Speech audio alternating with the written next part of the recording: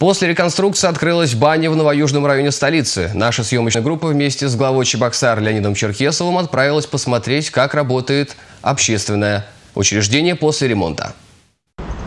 Баня номер два в Новоюжном районе построена еще в 80-х годах прошлого века. Впервые за это время баня закрылась на капитальный ремонт. Общая стоимость ремонтных работ составила более 10 миллионов рублей. Все расходы за счет предприятия. Комфортнее стало, э, хамам открыли еще, значит, его не было, бассейн улучшили. А коллектив остался тот же, душевный и приятный. В бане номер два за время ремонта изменилось все, начиная от плитки до вентиляции и отопительной системы. Бассейн здесь очищается по новой технологии. Здесь созданы все условия для любителей бани.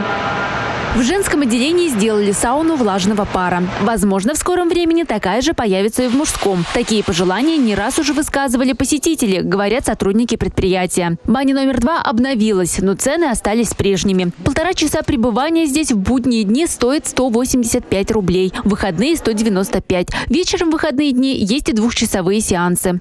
Татьяна Трофимова, Евгений Анисимов, Республика.